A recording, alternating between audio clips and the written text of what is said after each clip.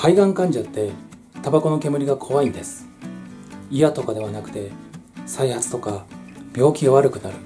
そう思っています。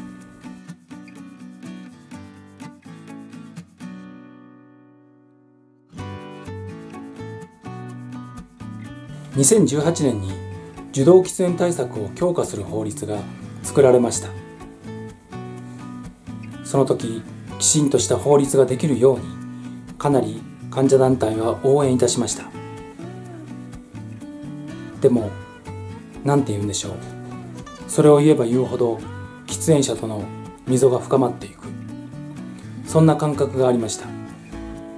対立していくんです。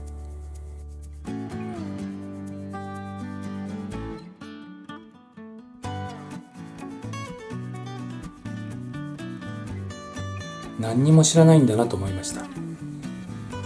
私はタバコを吸ったことがありません。だから禁煙する時の苦しみってわからないんです。それがどんなに辛いのか困難かっていうのは頭では理解していました。共感はしていない。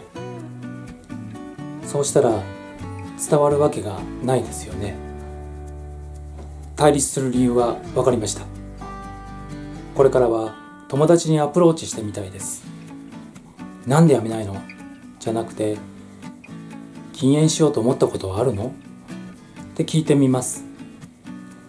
楽しみでもあり不安でもあります。